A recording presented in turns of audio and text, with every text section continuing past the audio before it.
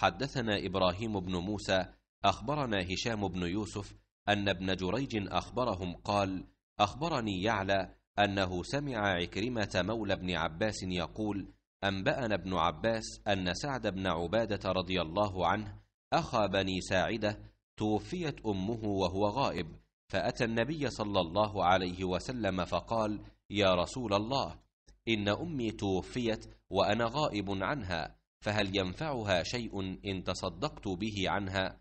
قال نعم. قال فإني أشهدك أن حائط المخراف صدقة عليها.